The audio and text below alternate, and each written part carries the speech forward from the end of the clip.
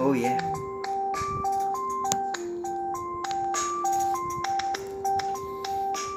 Sa classroom may batas. Bawal lumabas, o bawal lumabas. Pero pag sinabing pag Pero pag sinabing Oh yeah.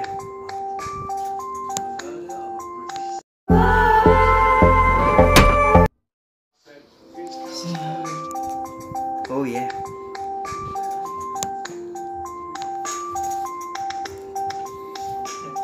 Sa classroom may batas. Bawal lumabas o bawal lumabas. Pero pag sinabing pag Pero pag sinabing pag nag-comply ka Na bawal. Pero may sinabing may ginawa pa. Sa pinagbabawal nila Inayos mo Yung law ng classroom nyo. At sinabit mo ulit ay pwede na pala ikay lumabas. Oh yeah. Sing and dance, Chinito Carrera. Sa classroom may batas. Bawal lumabas o bawal lumabas. Pero pag sinabing pag pero pag sinabing pag nag-comply ka na bawal Pero may sinabing may ginawa pa Sa pinagbabawal nila.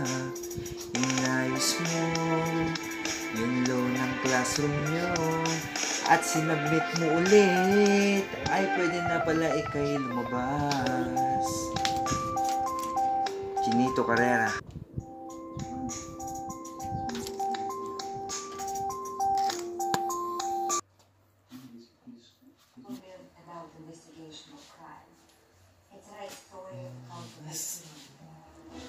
It's a story that reads like than any fiction. who was claiming that uh, he was a former KGB officer uh, and that he had been poisoned. The patient, who given his name as Edwin Carter, had been admitted he'd been poisoned with a heavy metal.